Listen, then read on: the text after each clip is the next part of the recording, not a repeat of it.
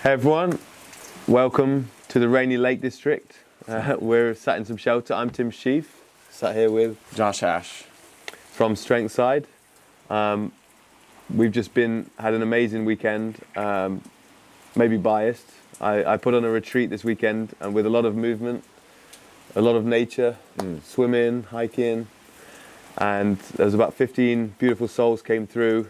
Um, my favorite place in the entire world is the English Lake District and we had a nice place, nice food, just a, a really special time. But it was uh, my man Josh has I've seen his journey on YouTube on and off for for a few years, and it's just great that we kind of to align with you. And you got into the rope flow a few years ago, or no, a few months ago. A few months ago. Yeah.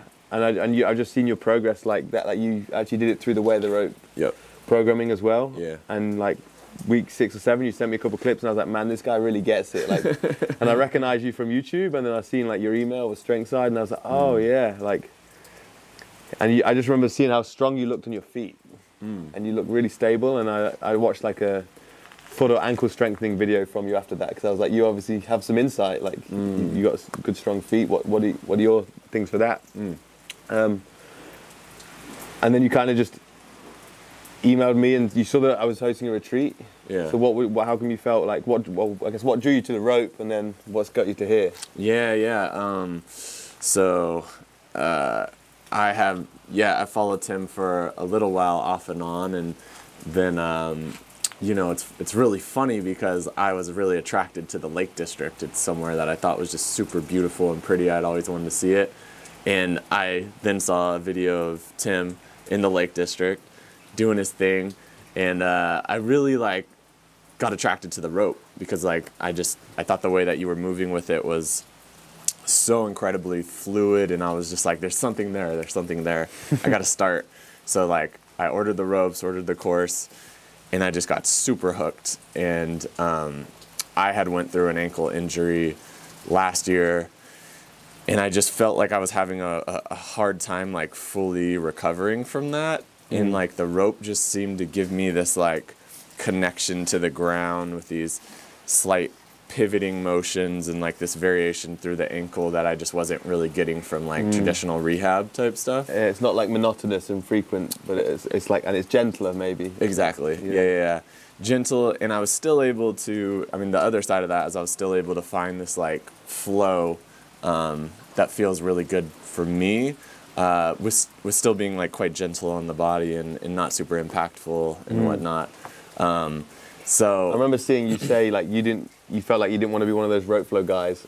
Yeah. and I completely get that. Yeah. because I get how the how the rope can look to people. Mm-hmm, yeah, so you, you you felt that, but then you still felt enough of a calling to like give it a try.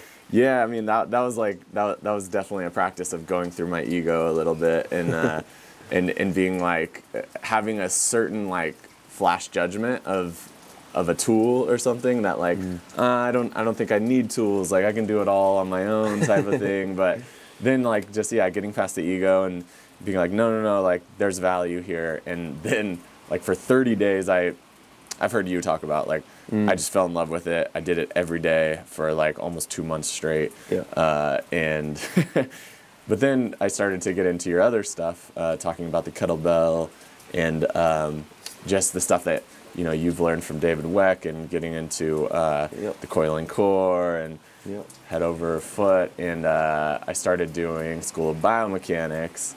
And at that time, you know, when I saw Tim was like hosting a retreat in the Lake District, I was like, this is just a lot of synchronicity that I've always wanted to go to the lakes. Yeah. And now I'm getting super into your stuff and uh, and just felt like connected to your journey as well, the Yeah. stuff you're going through.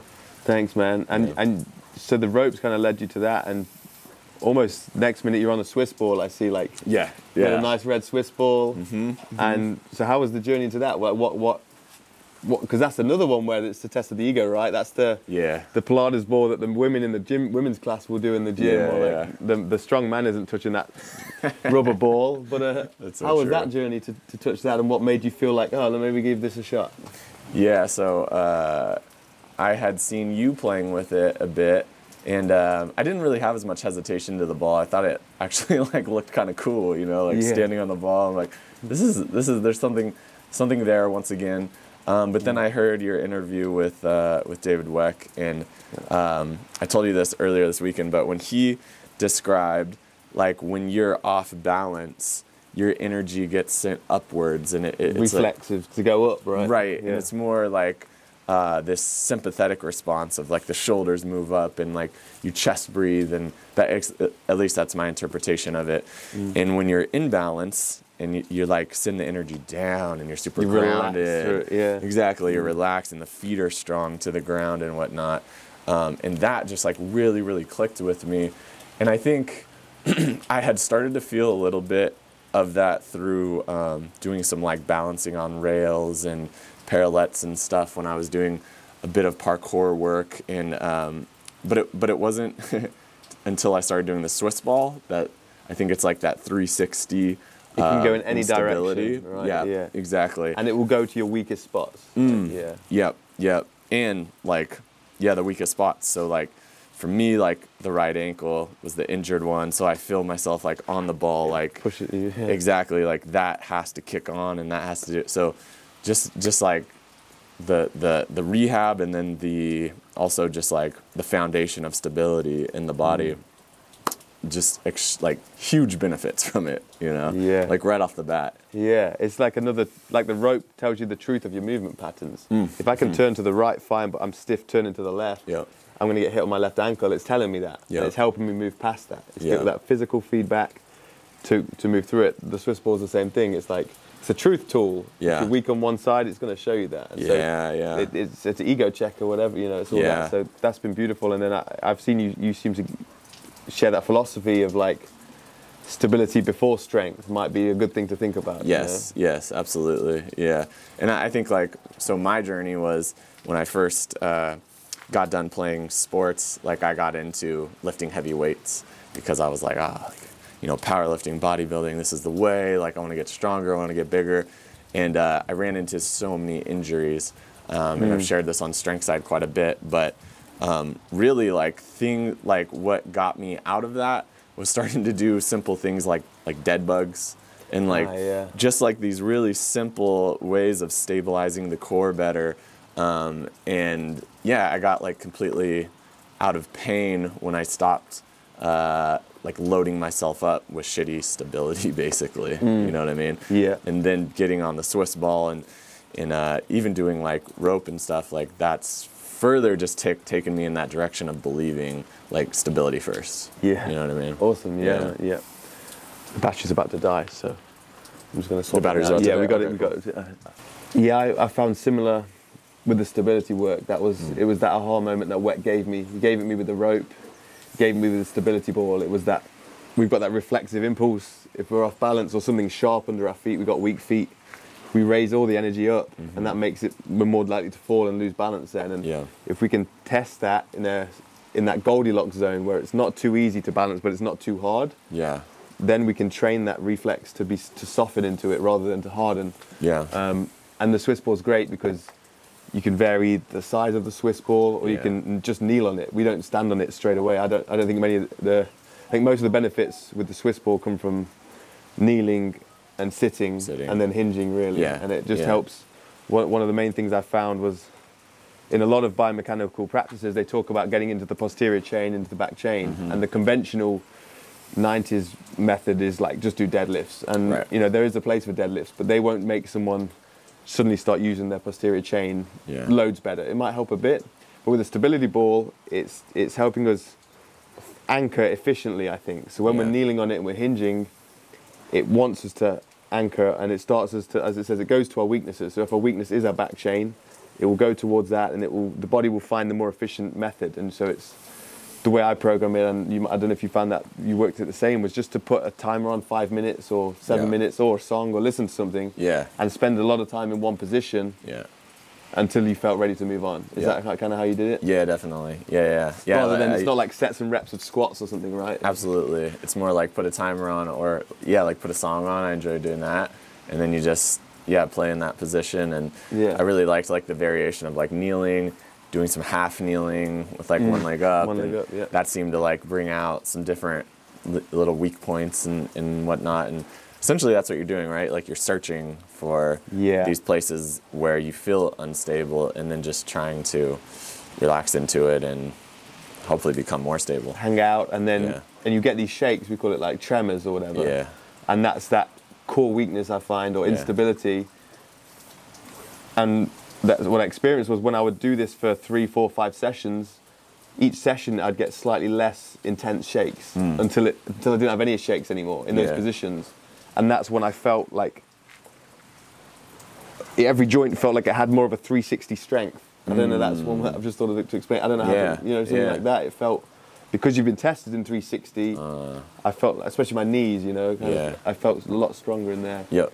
So that stability, and as opposed to like slackline, is a great practice, and Mm-hmm. parallettes, but it's I think slackline I kind of call it 2D. You've got here and here, Yeah. but you've not got like the front and back as much. Right. Right. And the the parallette is good because that stays fixed, but kind of 1D, and then you move around that. But the Swiss move ball is the opposite end of the spectrum where that will move every way, and then you've also got the left and right kind of connection where if my right foot lifts up, my left foot's going to sink down to stay balanced, Yeah. and the opposite way round. So there's that a whole that's a whole extra part of the coordination that's happening because the way the left hemisphere controls the right leg and the right hemisphere controls the left leg.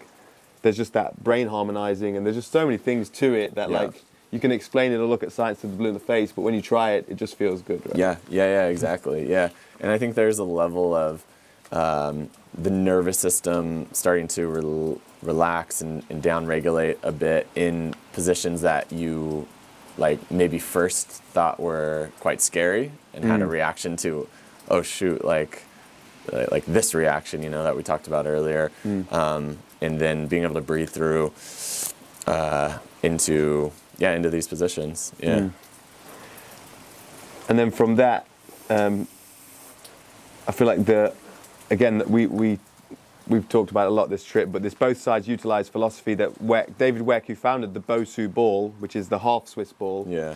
Which he discovered or he invented because he fell off a Swiss ball and thought it was quite quite clever. Yeah. And Bosu stands for both sides utilized, using the right side and the left side. But there's also a philosophy that transcends to all of our training. So it's like it's the bilateral training. It's like the deadlift bilateral, but then you want to train unilateral coiling or whatever. You Yeah. know, it's, it's we always want to think about. It's it's not just pronation, it's supination. You know, Right. And, and it's it's all those things. It's not just supination, pronation. Um, it's not just back chain; it is front chain as well. You know, Right. It's not all just that. You want to strengthen. You, it's not just anterior pelvic tilt; it's posterior pelvic tilt. But it's not just you know. There's all Yeah. these systems that get stuck on this one body position that you need to hammer into the body, Uh-huh. and not, and they don't want to focus on it. if my body's able to go there, I should strengthen it, like strengthen Right. every position. or- Right, right, yeah. um, but then with the Swiss ball, it, it feels like we're not having to overthink. We're Mm. not trying to strengthen every position consciously. The body's doing the wo- work. We're Mm. just setting up the parameters for the body to reorganize itself, kind of thing. Did you- Right. You, felt like that was happening, right? yeah, yeah. Yeah, exactly. And it's not like you're putting conscious effort into one posture Mm. or one position or one side.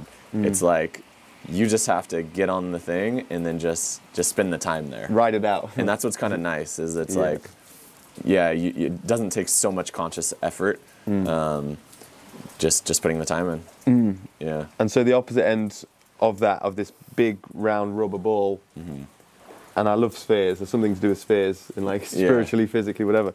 is this dense metal, sturdy? You know, that's unstable. A very stable metal ball Uh-huh. of a kettlebell. Yeah, yeah, right. So what was your journey into kettlebells from? Like when did you first ever discover kettlebells? And Yeah, first uh, read Kettlebell Sinister by Pavel. because that's just just that's something we're loving right now, right? We're Uh-huh. really loving kettlebells. So- Yeah, yeah.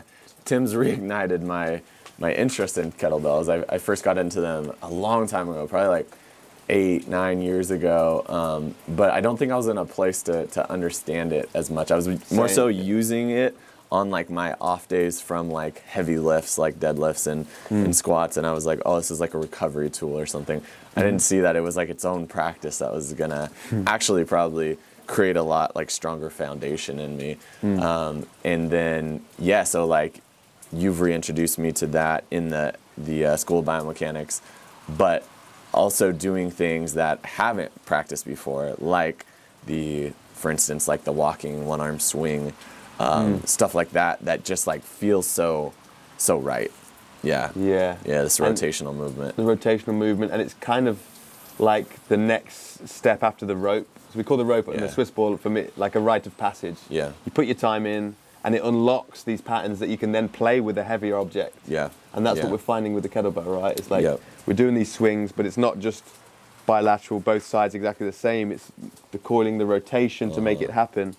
And for me, this was the a- big realization was the, how the tensegrity of the body works, which is we've got the fascial system over the muscles, then you've got the tendons and ligaments, and we want that all to work together. Yeah. A lot of strength training, and not, not your type, but a lot of mainstream conventional strength training, is just the muscles or isolated muscles. And Yeah. there is a place, there's both sides utilize philosophy, there's a place for training isolation.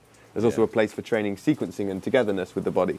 And the, the what, one thing when I, when I started to train these rotational patterns I got from David Weck, from Weck Method, and what the rope helped to program into my body, having used it as a rite of passage, I'm then doing the same patterns but with weight, and that and to make the weight move, I'm using more tensegrity than, than muscle. I'm using more of an even balance mm. of muscle and tendons and ligaments rather than just muscle. And mm. it's quite easy with bilateral motions to just get into muscles to make things happen. Yeah. With the rotational work with the kettlebell, it, it can be dangerous if you're using a heavy weight and you're not those patterns aren't ingrained. Yeah. But with the lightweight, it's quite safe to start playing with these movements Yeah, exactly. and grease the groove, as Pavel would say. And as that starts to, as we start to find these set like matrix lines to function on, or functional on functional movement, I, I think we can claim that. You can start to add the weight, yeah. and then it gets pretty funny. Exactly. Yeah. Yeah. The way I've been conceiving a lot of it lately is is um, like uh, bilateral movement is usually doesn't involve much shifting of your weight, um, but like human movement in any capacity of athletics or even just like like standing up off this bench right here, Yeah. like it all has to do with shifting weight, and this is like this this balance within movement and this fluidity within movement. And uh, it just makes so much sense to me to to train that right and like i, I think what what like weck uh, what they're doing is like the ratio should actually be more of this rotational shifting weight and then you can still use the bilateral stuff to get stronger just overall Yeah. but like you have to integrate that into the functional stuff, the stuff that's actually going to be functional to your day-to-day life and your sports and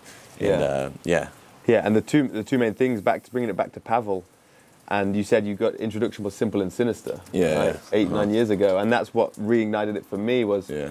I, I got into kettlebells a few years ago, and I remember hearing of the simple and sinister program, which is just the two most functional movements of a, that a human needs. Getting up from the floor every Yeah. day you get out of bed, right? Most people don't have to get up. They half the body goes down, half the body goes up. you know what I mean? Because yeah. their bed's at hip height. But if you live on the floor, you have to get up every day out of bed. so that's one thing you do. One of the hardest things you do is get out of bed every day.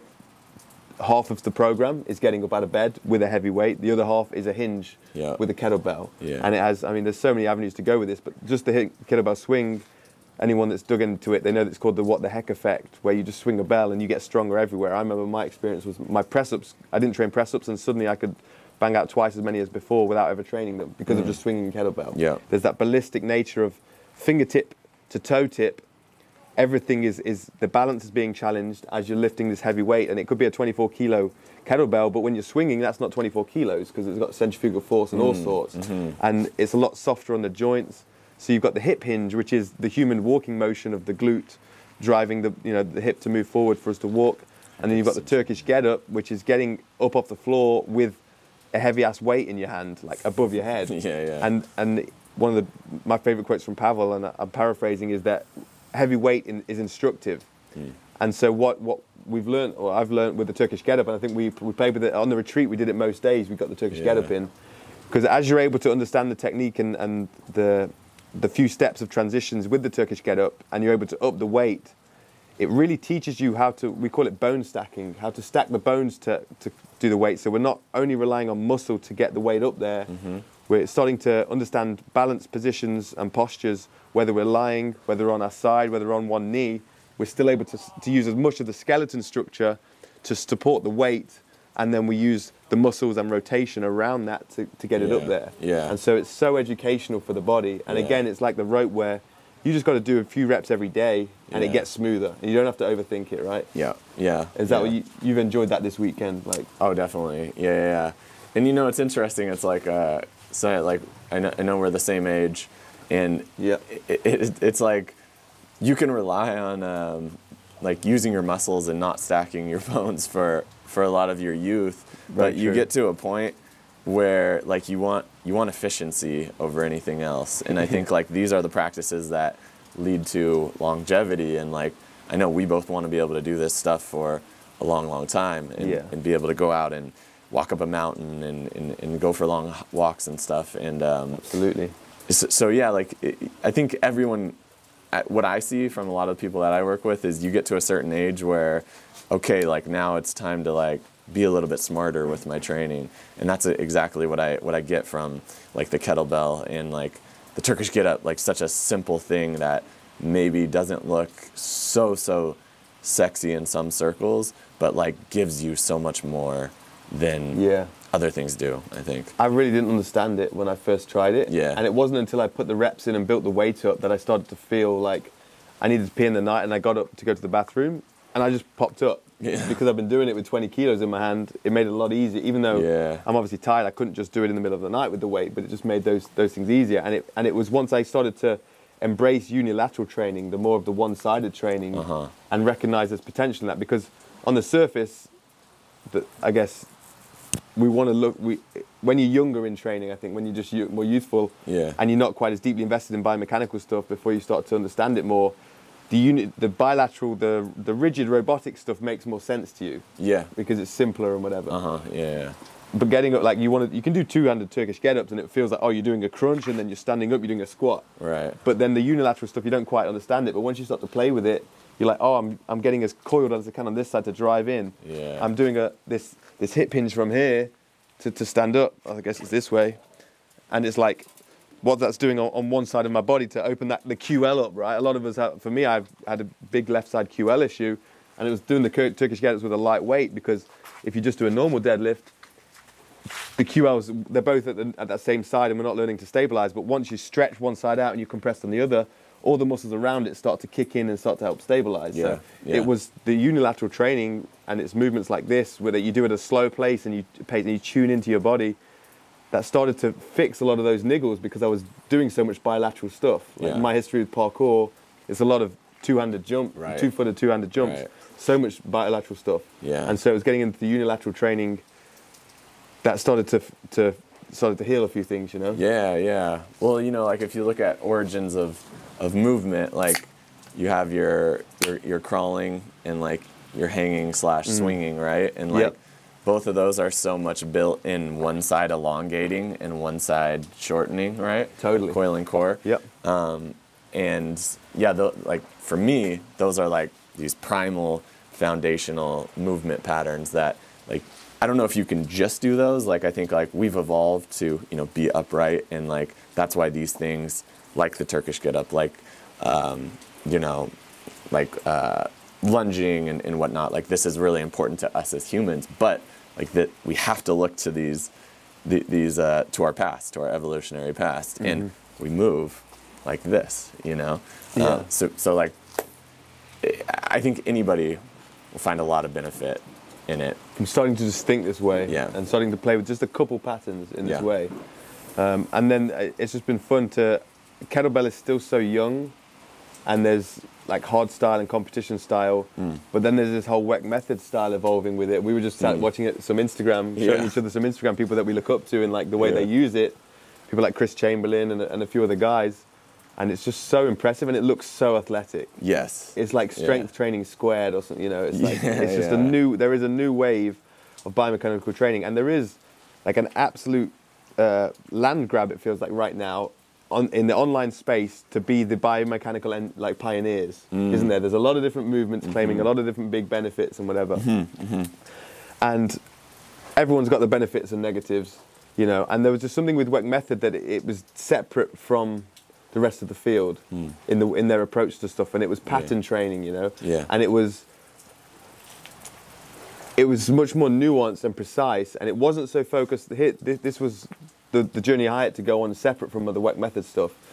It was like if you have a functioning body, like you can then build on that and be really athletic. Yeah. But there was a few things missing because they don't focus so much on the balance stuff. It's more the like the, the you've already got that athletic body. Let's build on it. Yeah. Let's train the patterns. You, Yeah. And they use simple tools to do it with the the pulses and the ropes. Yeah. So that's what kind of led me to the Swiss ball. Was looking at David Weck. Well, he's already got a functioning body to, to then excel from with the Weck method stuff. Right, right. And it was digging into that that led me to the Swiss ball to go. Oh, he's put his time in on this and he's Yeah. openly shared that to get me there. But there's the Weck method stuff. It's not claiming to like fix posture and all this stuff. It's not claiming all these benefits. Yeah. It's just a fun way to train. Yeah. And it's open to it. There's just certain um, like the coiling core and the rotational movement and this infinity path.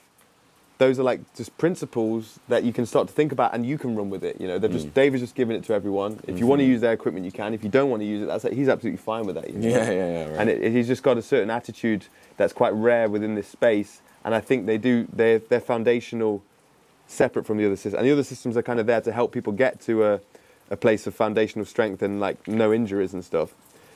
But I just I don't know. It's just it's just an interesting time in this space. Yeah. And I think the next five years of like which systems stick and if systems can come together and like share the best of best. Yeah, it- yeah. It's going to be very interesting. Yeah, I've, I think I've, I've heard people use the use like the analogy or phrase of like zero to there's zero to one, and then there's like one to two, Ah, and like zero to one is like you know get like finding safety in your body, getting out of pain, um, developing a certain level of like ground foundational strength and stability, and then that one to two is like let's stack athleticism and performance on top That's of it. that's per, I haven't heard that, but that's exactly it. Yeah. Yeah, yeah, and and I think I think like for you that you're trying you're I think like you're finding like with the stability ball, the Swiss ball, it's like that's that's kind of zero to one, right? ground zero. Yeah, that's ground zero. Because. I was trying to do one to two, and the rope was fun, but there was still some niggles I was dealing with. Yeah. It doesn't the rope doesn't just fix everything. Right? Right, right. And I had some ankle issues that the stability ball was able to fix. to Get me Yeah. to that one,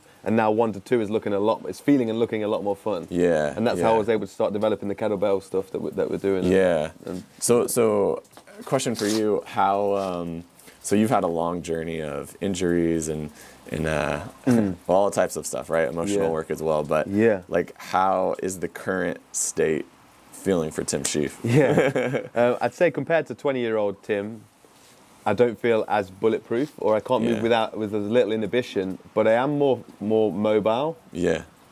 and I do feel way more functional. Mm. But there's just still that like that young zest that, that I don't feel yet, but I Sure. feel like I'm actually still headed in that direction. Yeah. Like I feel the best I've felt in maybe 6 7 years Wow. physically. Yeah. um, enjoying the training more than I have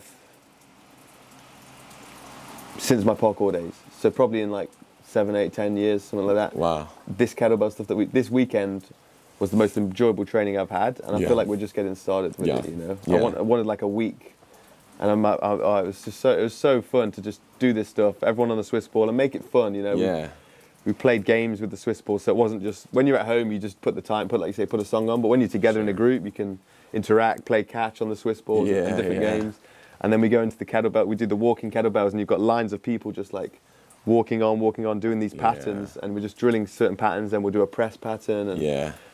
and so yeah, just doing that for myself felt great at home, and then having this as an outlet to share it with other people, and having that like imposter syndrome of maybe just I enjoy it. You know, Oh, maybe I'm going to yeah. force this onto other people, and they're not going to have fun here Yeah. and then to see actually people did enjoy it, and, it, and it was a, like, and I think everyone's got everyone's wants to get it. Who doesn't have a kettlebell already wants to get a set of kettlebells, and Yeah. Right. and it- it- like I was saying earlier, it's just such early days for that. Well, but, well, um, also a testament to the rope. Like it was, it was crazy to have so many people into the rope, and True. like we're chilling at like a lake for a nice swim, and then all of a sudden everybody has their rope out. Yeah, yeah. Everybody's flowing together. I'm like the last one with my rope out. I'm Yeah, like just chilling. I look around and everyone is roping. Right, right. Yeah, and that is like really heartwarming to see. Like, oh, because it's lonely when you're like onto things relatively early and you connect with them, and and because the internet's such a weird like spread out community where there's no real like pockets of places where. Mm. No one in Derby is really into the rope, so I've been Mm. doing it on my own for years, or in Bristol. Yeah. And a few people would get into it, but like to have that come together and realize, oh, we, like there is something really good about this. It's not just my own imagination, you know. Absolutely. Yeah. Yeah. Yeah. Yeah. It's it's it's really cool, and I I think it's a it's a testament to um, to that tool, like making you feel so good on so many different levels. You know, Mm. physically and uh, emotionally. I think. Yeah, yeah, Yeah. it's spiritual, whatever it is. But Yeah. yeah, on that note, I guess, because we have talked a lot of biomechanics, Yeah. but I think we've both come to places in our life where we realise it's not just about the body and the biomechanics. Yeah, Right? yeah, And that's been, to be honest, that's been the majority, and that's probably been the most, aside from the physical movement, the most enjoyable conversations we've had, and the deeper Yeah. conversations have been about recognizing the emotional work that kind of needs to be done alongside the biomechanics if we actually want to grow. I don't know. I guess in love, maybe a bit uh, of seeming like an extreme word, but grow to, to some people depending on where they're at. But because it's all fun to like I've won uh, free running world championships and stuff, but I never felt any more full from it. Yeah. That only benefits me. Yeah. You know what I mean? Yeah, it doesn't benefit anyone else. Whereas this kind of practices that can help other people physically, but then the emotional work is like that's what actually where I actually feel a difference in my life. I didn't feel like I won a world championship and I felt happier for anything that wasn't just addictive and facade yeah, emotions. It was all ego, right? Whereas when I do emotional work, I actually feel a shift and like a natural state of happiness yeah, becomes slightly more apparent. You yeah. know? And so yeah. I know. I, it's interesting trying to enter this conversation about emotional work. Yeah, no, I, I well, I, I think uh, for for me, like I'll, I'll share just like a little bit of my Sure. my story with uh, with you know with strength side becoming more and more successful, and like you know all of a sudden like you know like six years ago, I would have been so so happy to have uh, twenty thousand subscribers on YouTube, and now all of a sudden I'm in this place where there's eight hundred thousand subscribers, and I'm like, this is like a extremely successful channel, and um, and then I was also at this place where I was really starting to like push my physical limits, and I was, starting to just like do calisthenic skills and um, like learning how to do flips and, and just the stuff that was like like I was like almost like blowing myself away with with uh, how how much like external success I was starting to have. Achieving things that you thought you wanted to achieve. Exactly, Yeah. right. But I was at a like a pretty big low and Internally, it made no difference. internally, yeah, I was like, this isn't making me any more happy, like you said. Mm. And for me, like actually having an ankle injury was, it, it put me like into a, a really big low and a depression. Mm. But I started to understand that, like, just pushing myself more and more and like trying to become more successful, it wasn't helping anybody else out. Like, if I can do flips, how does that help anybody on strength side? That that like Yeah. you know. Yeah, and it's not to say flips are bad, but it's just like Exactly. when you make that everything, yeah, it's not. Yeah, yeah, and like, and, and like, if your your identity is getting mixed up in that, like, Yeah. So like for me, and, and yeah, exactly. It's not to say like, I know you're not saying that. yeah, yeah, like, yeah. like I I love like push the boundaries. That that's that's awesome. Yeah. But for me, it was like a big like coming back to myself moment where I was like, you know what, like. I actually love just getting better at the basics, and it felt really fell in line with getting into your stuff and like this this humble practices, Humble as you say, right? yeah, like yeah. the rope and and Swiss ball and kettlebell and just like Truth tellers that are like yeah, humble, yeah, and that anybody can pick up quickly, um, and like that kind of brought me, like I said, brought me back to myself a little bit, and uh, I started to understand like, oh wow, like I've been really closed off to my emotions, and I've been just go go go and achieve all these things, and that's gonna get me to where I Mm. want to be. Didn't do any of that, and the only thing that's made me feel more comfortable in this life is just like processing the emotions, feeling what needs to be felt, and Yeah. yeah, like starting that journey is Mhm. like I feel like we're just like I said earlier, we're at the foot of that mountain. I think yeah, yeah, exactly. across the desert to realize that that's the, the chasing achievements and success isn't truly satisfying in the soul. I think, Yeah. and that like I think we've always there's some element of me and you in our last few years, especially of like trying to be of service, Mm-hmm. but still like for me this. It, there's a point when I'm trying to help other people because I'm scared to feel my own pain. Mm. And so it's like helping other people out of pain because I'm scared to actually just face yeah, my own yeah, stuff. Yeah, yeah, And so there's that trying to find that balance of, okay, definitely like trying to be of service and help share good education is important, but then it's also no good if I'm still not helping myself and healing myself and working through my emotions. And the only real, there's like two types of healing, I think. There's like physical healing where you're not just addictively at the gym and you've got a knee injury that you're not addressing and you're just still pushing through because Yeah. you're addicted to the endorphins that come when you get a PB or whatever, Right. whatever it is, and or when you when you're sweating. Really common. So yeah, so it's like there's there's healing the body, finding the holistic practices that aren't over demanding. I think like the Swiss ball, and that can kind of heal the body to a degree. But the the the body is so connected to, uh, for my the definition is the soul, and the emotions are what gets stored in the soul. So there's,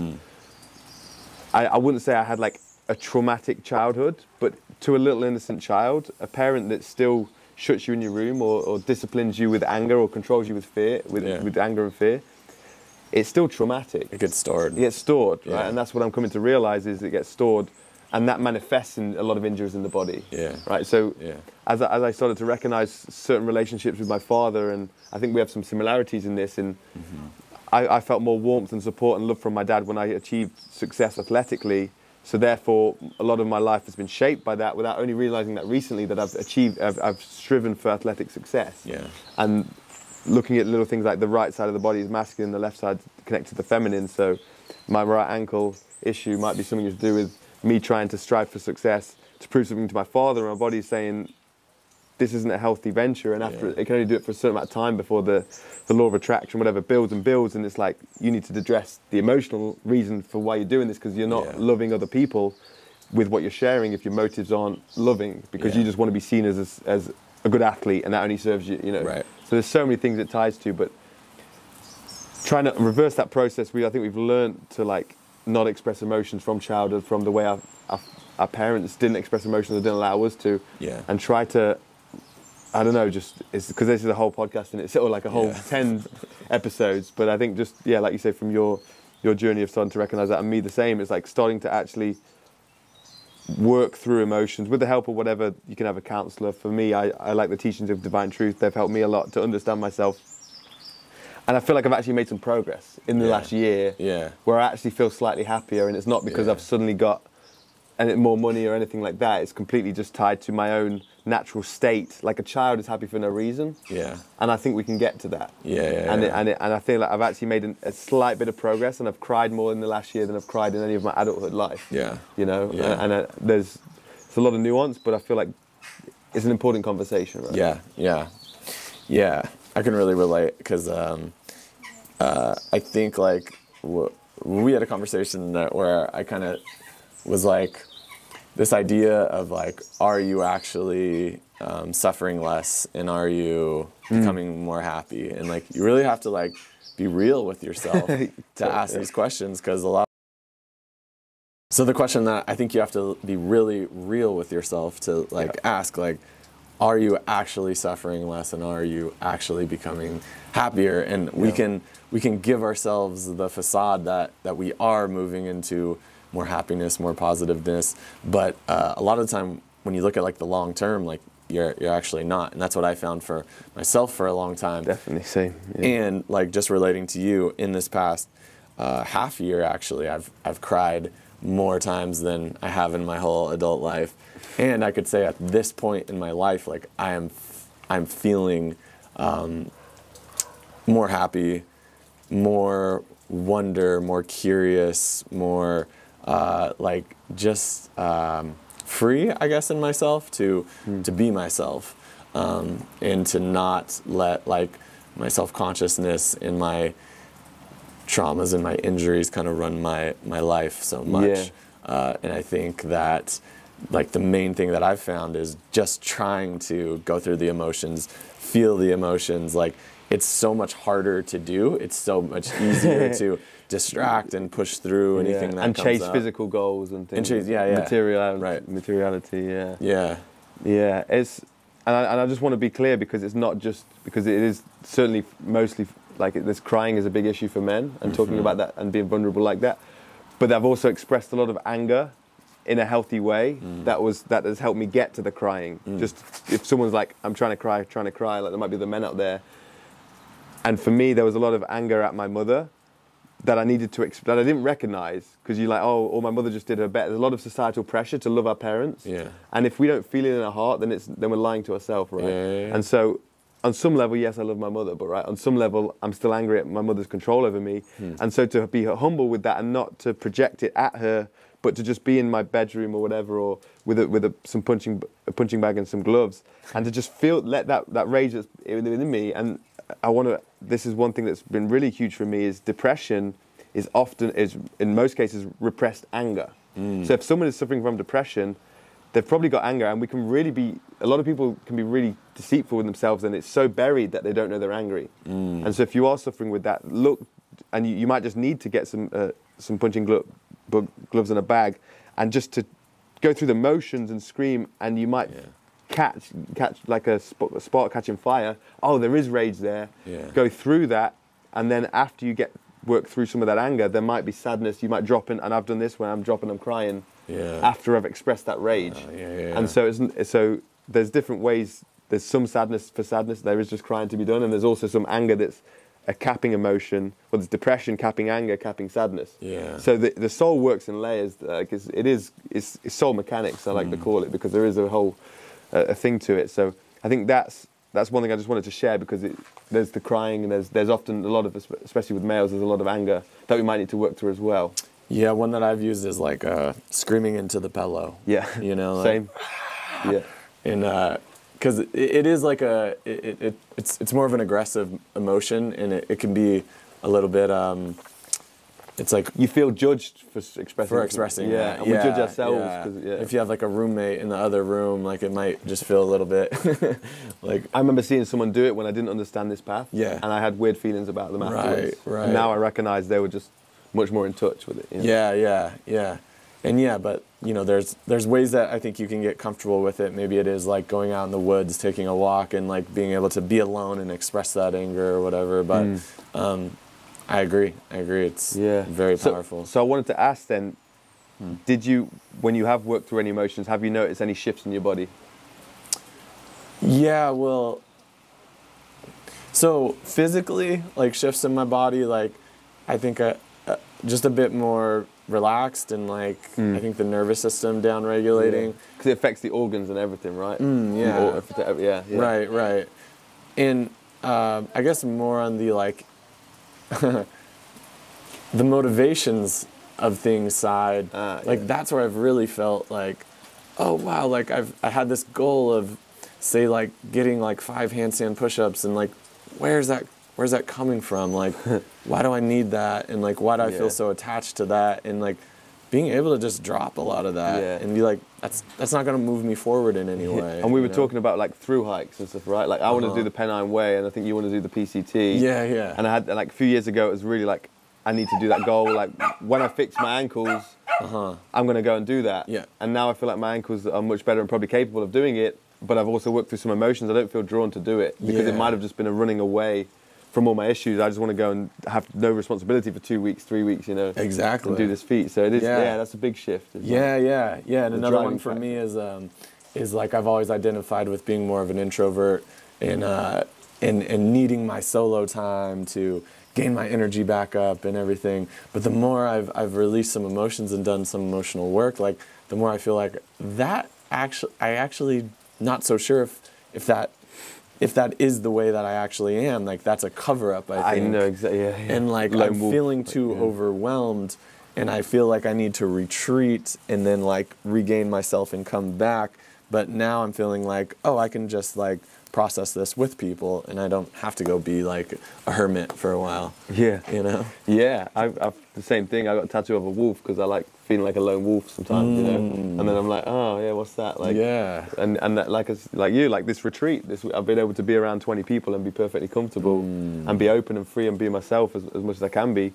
Um, and like before, I would have been like I wanted my wanted my own space more of the time. And it's like we've been literally around each other from waking to sleeping like most days. And Yeah, yeah. It's been really really eye opening to just be able to have these moments to notice the growth. In, Yeah. in the work that we're trying to put in and then just realize there's still so much ahead. But it's but the hope, there's hope I feel now. Mm. The emotional work has given me hope. You know, Yeah, yeah. before it felt like a lot of emptiness and dead ends. Yeah. Yeah, yeah, yeah. Yeah. I agree. I totally agree. Yeah. I had a really low point where I remember I was laying in bed one morning and I was just like feeling like so blocked up. And I was like, I was like, if I think if I don't fix this, then like I could come down with some type of like disease or ailment or something. Yeah. You know, those are the ma- things that eat at you and yeah, and cause those manifest in an organ Right. cancer or something. Yeah. Right, right. Yeah. Um, and you so- recognize that like early. You know, most people aren't taught to think that way. Or Yeah, yeah. Well, I don't know if yeah. I guess it was early on the grand scheme of things, and but Yeah, I just yeah, relating to you on the hope. Like I, I now I'm like feeling like I know how to deal with this, and Hmm. and uh, yeah, I'm like super excited for right now and for the future, and yeah. yeah, wicked. Is there anything you, like you recommend that helped you, like a movie or any resource that you go to? Mm, for For like the emotional stuff, is there anything that helps you? Yeah, like because for me, I can watch some movies that help me get into stuff, Mhm, or mhm, or then yeah. there's, there's like a book, um, "The Body Never Lies," is one that I'm reading at the moment. the body never lies. Yeah, which is a lot about like a repressed childhood traumas and recognizing that and actually the truth of that because we can have these ailments and issues and injuries and physical problems that manifest because our body's not lying to us. It knows the truth of what happened, but we're lying Yeah. in it. We don't know the truth in the head, or we won't admit Yeah. the truth of our childhood or whatever it is. Yeah. And it's once you make the connection, things start to change from that moment. Yeah. Once you actually are truthful with yourself, or actually, I am mad at my parent, or I did that. That did hurt me when that happened, and we not just. There's a lot of spiritual bypassing goes on where we try and like just say, "Oh, let it go," It's and all that's good. and it, yeah, it's all good. And when we, when we don't actually feel that in our heart, in our Yeah, soul, yeah. and we say that, there's a lie, there's a deception, and the body will tell you the truth of it, but in our head we're just de- dece- deceptive. And so that that's one book I'd recommend is the body never the body never lies. Um, I Yeah. don't know if you had one. Yeah, well, just on that point, like I, I I think I, I used to be a little bit more into surrender to life